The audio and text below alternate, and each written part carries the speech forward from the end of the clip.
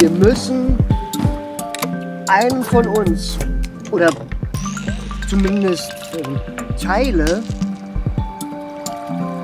essen.